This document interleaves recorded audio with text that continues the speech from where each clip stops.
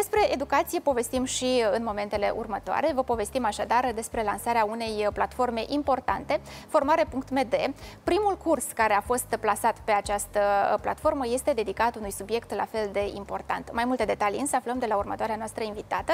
Este vorba despre Corina Popa, reprezentanta Uniunii pentru Prevenirea HIV și reducerea riscurilor. Bună seara, Corina, bine ai venit! Bună seara, bine v-am găsit!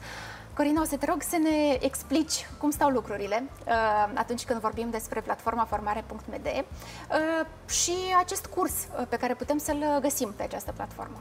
Uh, sigur, dar mai întâi de toate uh, vreau să mm, spun două cuvinte despre organizația care o reprezint. Sigur. Deci Uniunea pentru Prevenirea HIV și Reducerea Riscurilor este o asociație obștească care activează din 2007 cu misiunea de a crea un mediu favorabil social, medical, um, economic, uh, juridic pentru persoanele, pentru a îmbunătăți calitatea, calitatea vieții persoanelor din grupurile cu risc sporit de infectare la HIV, uh, dezvoltând aceste comunități, oferindu-le servicii și promovând uh, drepturile acestor persoane. Uh, dacă este să vorbim în continuare despre platforma de instruire, formare.md este o platformă care a fost creată de Asociația Uniunea pentru Prevenirea HIV și Reducerea Riscurilor și este o platformă care, are, care pentru a prezenta digitalizat subiecte legate de HIV, de gender, de drepturile omului, de sănătate.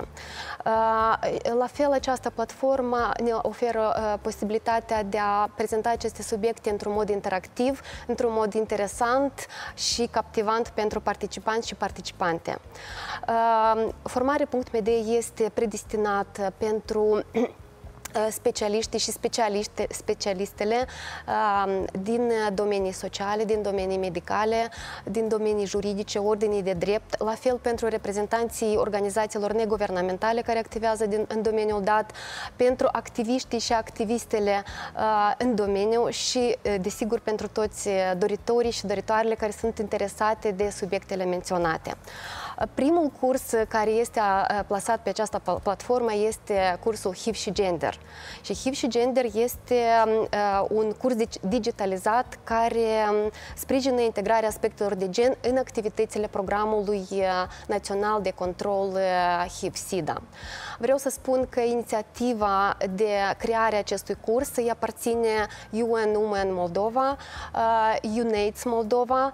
Implementarea a fost de către Uniunea, Uniunea pentru Prevenirea HIV și Reducerea Riscurilor cu suportul financiar, financiar UBRAF, cadrul comun bugetar, asumare și responsabilitatea al UNAIDS.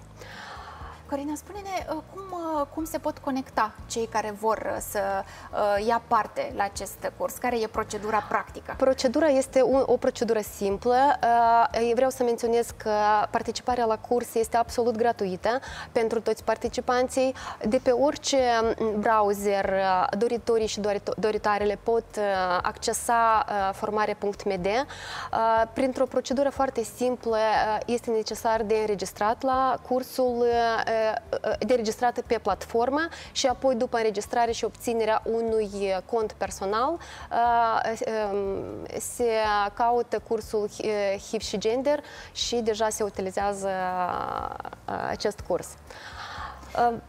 Corina, știi ce vreau să ne mai spui? Ehm, ce a stat la baza dorinței voastre de a lansa un asemenea curs? Care a fost uh, motivația mm, voastră? Mm, probabil, cu părere de rău, uh, motivarea pentru crearea unui astfel de curs uh, este totuși prezența mm, în țara noastră a stereotipurilor și discriminării în bază de gen în domeniul HIV-SIDA și totodată necesitatea de a informa și de a fortifica capacitățile specialiștilor și specialistelor din domeniu.